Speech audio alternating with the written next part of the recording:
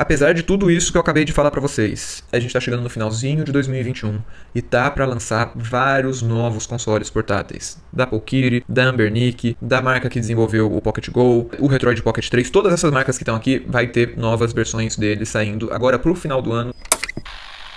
Voltei. Tripulação, sejam muito bem-vindos ao meu canal. Meu nome é Victor Yemini, como vocês podem ver eu amo consoles portáteis. Hoje eu tô a fim de falar aqui com vocês sobre os meus consoles portáteis favoritos. Como vocês sabem, eu meio que tenho todos, e eu queria mostrar aqui pra vocês os meus top 5 que eu mais recomendo, talvez. É difícil porque se vocês já acompanham o canal, vocês devem saber que eu tenho uma filosofia aqui, que é nenhum console é tipo perfeito ou muito melhor do que o outro, nenhum console é horrível. Cada console depende do momento da vida que você tá agora, de qual que te traz mais nostalgia. Eu acho que tem alguns fatores aí que podem fazer você preferir um console a mais que outro. Cada pessoa escolheria de forma diferente. Por exemplo, a proporção da tela. Normalmente 4x3 é a melhor proporção proporção que tem para uma tela. Porém, um console como esse daqui, se ele tivesse uma tela 4x3, seria perfeito. Mas, olha só esse formato dele, é muito nostálgico. O fator nostálgico disso daqui, para quem cresceu nos anos 90, a proporção da tela. Mas tem gente, mas isso na minha opinião, Pode ter gente que fala que não, que prefere a tela certa mesmo que não tenha um fator nostálgico. Porque naturalmente tem gente que não vai sentir nostalgia com esse formato aqui. Tem gente que vai ver ele e vai achar que é só mais um controle. Mas para mim e para muita gente que acompanha aqui o canal deve entender que isso daqui é mais que só um controle, né? Isso daqui foi o que a gente jogou por uma década. A gente vai falar do S30 que já tá, o V90, RGB10 Max Ambernic RG351, esse aqui é o M, né, de metal, e o Ambernic RG351V, que é na vertical. Ele parece de madeira, mas ele é de plástico, muito bonito o design dele. Eu já fiz um vídeo semelhante, mas eu não tinha tantos consoles assim ainda, acho que eu só tinha uns 4. Como eu disse, cada console eu acho que é melhor para um tipo de pessoa. Durante esse vídeo eu vou falar para vocês ainda qual que é o top 1 na minha opinião, tem um entre esses todos que é melhor que os outros. E eu vou explicar direitinho por quê. Mas antes, aproveitando que você tá aqui, se você não tá inscrito ainda aqui no canal, aproveita, se inscreve, deixa o like, comenta, vamos trocando ideia dessa força aí. E bora aqui pro vídeo. Esse daqui é o V90, o mais baratinho. Você consegue encontrar ele aí de 130 a 190 reais e ele me impressiona sempre que eu ligo ele. Tem um tema muito bonito do Waster, que é um membro lá do meu Discord. Se você não tá lá no meu Discord ainda, é muito fácil chegar lá, é só entrar no meu canal, ele tá ali no banner ou na aba sobre. E lá tem uma galera que manja muito mais do que eu sobre todos esses consoles, como que configura e tudo. Olha só o tema, que belezinha. Vou até dar um zoom aqui só para vocês entenderem melhor o que está acontecendo. É um tema todo pixelado. Ó, todas as plataformas elas estão meio que assim, ó. Tá muito bonitinho. Tá muito bonitinho. E como eu falei, é muito baratinho e ele roda também open bore. Eu tava rodando hoje aqui uns open bore, cadê? Rodar open bore aqui dentro tem vários jogos novos. Eu inclusive tô criando uma página, tipo um Netflix lá no meu site. Meu site é victoriamini.com ou .com.br, tanto faz. E se você clicar ali no menu em os melhores, vai ter os melhores open bore de filmes e séries. E eu tô fazendo uma lista de jogos open bore baseados em filmes e séries. Tá virando um grande Netflix jogável. É, é bem maneiro, eu acho que você deveria ir lá dar uma olhada. victoriamini.com ou .com.br, não tem erro. Ele entrou aqui no Sleep Mode, eu acho que para ligar eu aperto aqui, para desligar esse console com segurança, eu seguro Start, aperto A e pronto.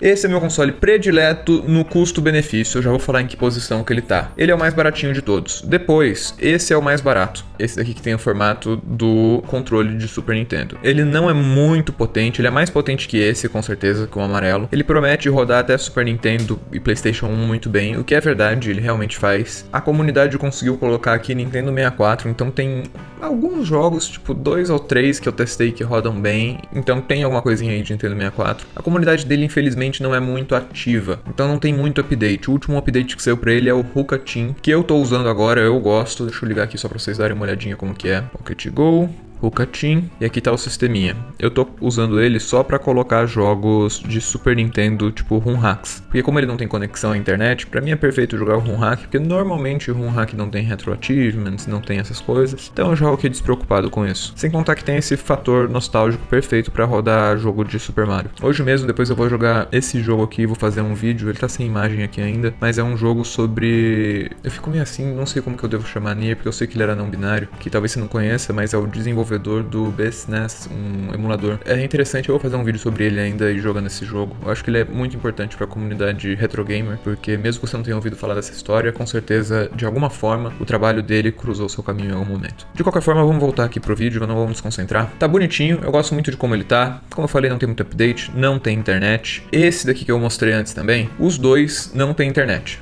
tá bom? Então o V90 e o Pocket Go S30. Mas eles têm esse formato super nostálgico e são baratinhos, é um bom custo-benefício. Esse daqui mais bom custo-benefício ainda do que esse, mas os dois valem a pena. O que mais que a gente tem aqui? Os dois irmãos RG351. Tem aqui o M de metal e o V na vertical. Então esses daqui são dois consoles da Ambernic. A Ambernic ela é muito famosa por ter uma qualidade de construção impecável. É muito boa a qualidade, o plástico é boa qualidade, a pintura, os botões, nada, ó, chacoalha, faz barulho.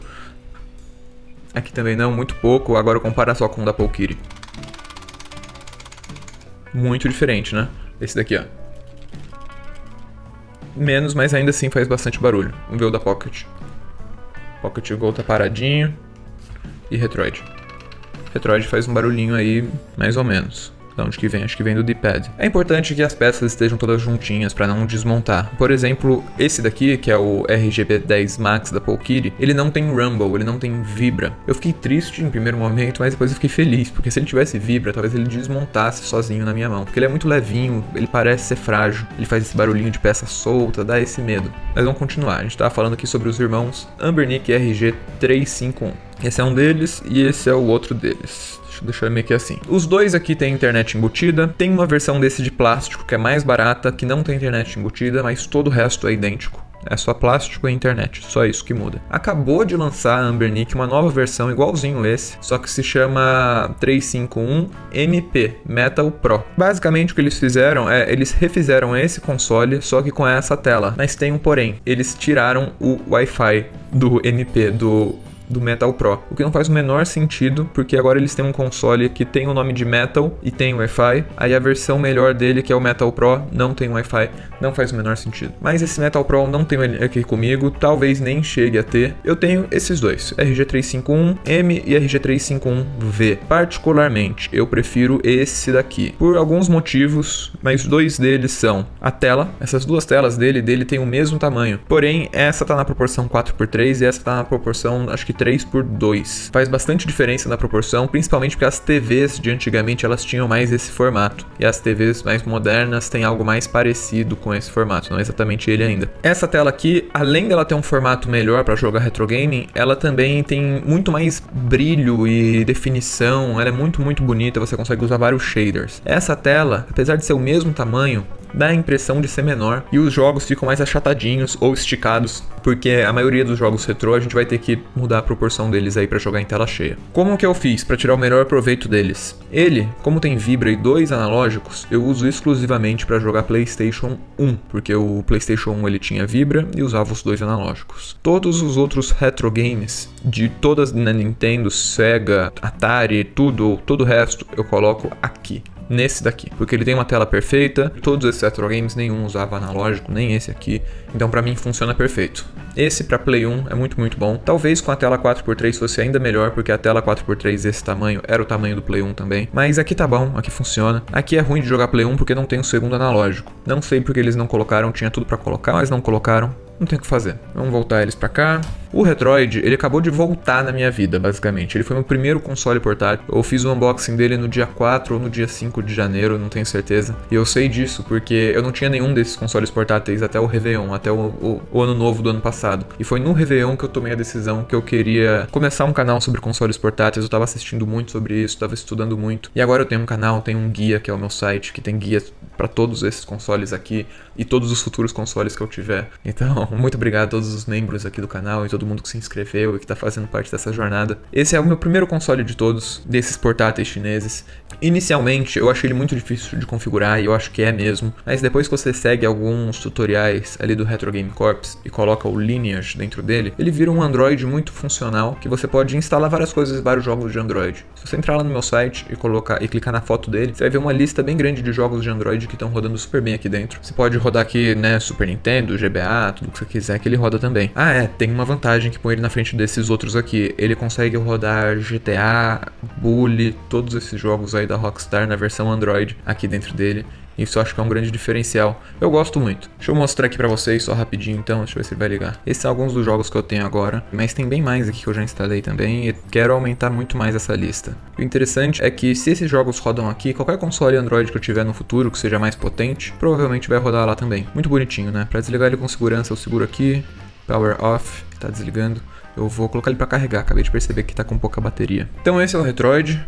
Vamos lá pro último, e agora que a gente tá no final do vídeo, eu vou revelar para vocês. Esse daqui é o meu predileto de todos, tá? RGB10 Max. Ele tem a mesma performance desse e desse. O chip dele também é um RK3326, que é esse chip que consegue rodar até Nintendo 64, ali a maioria dos jogos, PSP alguns jogos, Dreamcast alguns jogos e fica por ali no máximo. Todos eles têm a mesma performance, mas essa telona compensa por vários motivos. Primeiro que ele tem um preço muito competitivo com os outros. A qualidade de construção dele, como eu comentei antes, da Polkiri, não é das melhores, deixa muito a desejar. Porém, essa telona permite que muita coisa aconteça, muito mais shade do que você consegue nos outros, muito mais. A imagem fica muito, muito grande, que é muito legal de jogar. Alguns jogos, como o GBA, dá pra esticar a tela toda, não fica tão ruim assim, fica legal até. Quantidade de ports. Eu tenho aqui dentro desse meu console 29 ports funcionando. Entre eles ali tem o Return to Castle Wolfenstein, que é um jogo de Play 2. Está portado à versão de PC, mas mesmo assim. Olha aqui, nele eu tenho uma coleção de jogos Doom e Doom Hacks maravilhosa. Tenho uma coleção de jogos Open Board, que não sei se eu comentei antes, mas lá no meu site victoriamini.com tem uma área ali de melhores Open Board de filmes e séries. E ali tem todos esses. Por exemplo, aqui ó, Caverna do Dragão,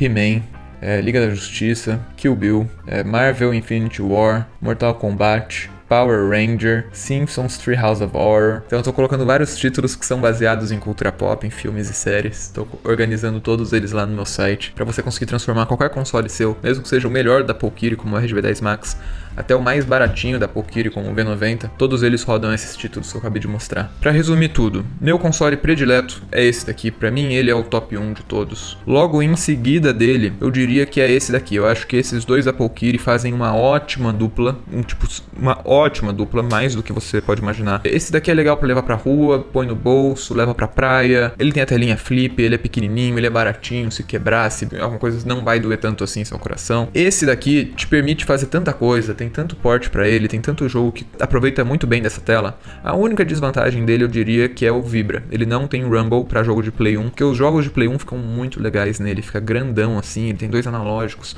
Fica bem bonito, mas sem Vibra eu acho que tira um pouquinho da experiência.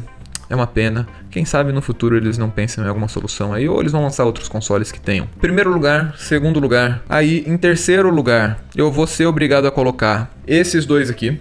Eles vão juntos. Eles são basicamente iguais. Um tem desvantagem, outro vantagem. Se esse tivesse um outro analógico, ele seria perfeito. Mas é meio que isso. Tela melhor, tem analógico, tem dois analógicos. Tela melhor, tem dois analógicos. Eu gosto muito do formato vertical também, porque eu cresci jogando Game Boy Color, então é um formato mais nostálgico para mim. Mas esse daqui também é maravilhoso. Terceiro lugar, empate para os dois. Aqui está. Quarto lugar, eu iria aqui para o Retroid Pocket pelo design e por me impressionar muito com os jogos que rodam aqui dentro. Porém, eu não gosto muito de Android. Android sem tela touch não faz o menor sentido. É muito chato ficar mexendo no Android com o, o, o analógico ali levando para lá e para cá. Então eu não recomendo tanto ele assim. Apesar dele ser muito maneiro, muito bonito, o design é lindo, meio cyberpunk assim, eu adoro. Por último, em quinto lugar, infelizmente, o Pocket Go S30. Arcano, se você tá vendo isso isso, eu sei que você tá aí dando risada. Eu amo esse console. E não, tô falando para você não comprar ele, só porque ele ficou em quinto lugar. A maior vantagem dele é o fator nostálgico. Que ele não tem muito update, ele não tem muita informação sobre ele, não tem uma comunidade que tá criando coisa nova para ele. A parte mais gostosa de jogar aqui nesse console é ele parecer um controle de Super Nintendo, e isso tem um fator nostálgico muito grande. Mas nem é o formato da tela ideal para isso também. Eu adoraria que a tela fosse 4x3 para ficar o Super Nintendo sem esticar, sem nada, da forma que deveria deveria ser. Mas funciona, eu curto como é. E vou fazer um vídeo agora jogando nele, inclusive. Pra você ver como eu não ligo. Ele é bom e eu, eu curto muito. E é isso, galera. Espero que esse vídeo aqui tenha te ajudado. Ah, é. Calma lá, calma lá, calma lá. Tem mais um grande aviso agora. Apesar de tudo isso que eu acabei de falar pra vocês, a gente tá chegando no finalzinho de 2021 e tá para lançar vários novos consoles portáteis da Pokiri, da Ambernic, da marca que desenvolveu o Pocket Go, o Retroid Pocket 3, todas essas marcas que estão aqui vai ter novas versões deles saindo agora pro final do ano ou pro início do ano que vem. Provavelmente ali janeiro, fevereiro no máximo. Então, se você não tá com muita pressa ainda, se você já tem outros consoles, aqui no canal a gente tem uma campanha nova chamada Eu Escolhi Esperar. A gente tá meio que incentivando as pessoas a esperar um pouquinho para comprar esses consoles da próxima geração, que é como a gente chama. Eu considero próxima geração qualquer console desse tipo, dessa categoria de preço também mais ou menos, menos que mil reais, mas que rode GameCube. É algo que eu tô esperando há muito tempo, muita gente da comunidade lá do meu Discord tá esperando. Como eu falei antes, se você não tá lá no meu Discord ainda, você deveria estar. Tá. Só entrar no meu canal, tá no banner ou na aba sobre. E esses são todos os meus consoles portáteis e quais são os top 5 consoles portáteis de 2021. E aí, você concorda com as minhas opiniões? Discorda? Quero saber aqui nos comentários, me fala. Eu não sou dono da verdade, cada pessoa tem uma experiência com um tipo de console. Eu tô aqui passando um pouco da minha experiência, não tô aqui falando specs, falando números. Não, tô, tô passando um pouco da minha experiência pessoal com cada um. Espero que tenha te ajudado, talvez suprido sua vontade vontade de comprar todos eles. E vamos trocando ideia. Muito obrigado por fazer parte dessa jornada. Meu nome é Victor Yemini, como sempre. Eu volto no instante.